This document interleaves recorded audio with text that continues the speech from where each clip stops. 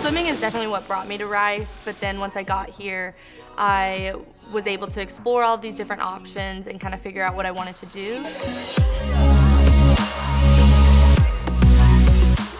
It was specifically through Dr. Logan's class, her Victorian literature class, that I realized that I wanted to become an English major. She helped me so much to develop my writing and throughout the four years I've just learned more and enjoyed how broad the degree is, that I'm not just boxed in to journalism or I'm not just boxed in to one specific path.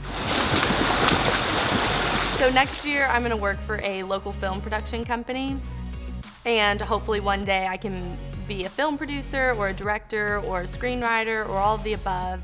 I don't totally know what the future holds in that.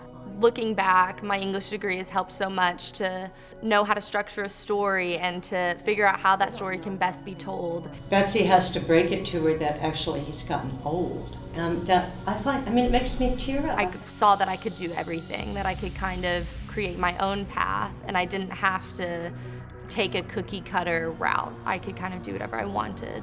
And all of the people that I had met at Rice were part of that journey to help me and encourage me. So, you know, I had Dr. Logan and my coach Seth, who allowed me to still swim just as much as everybody on the team. But if there was a last minute shoot or a last minute trip to Austin that I needed to go to for the documentary, he would let me do that and make up the swim practice later.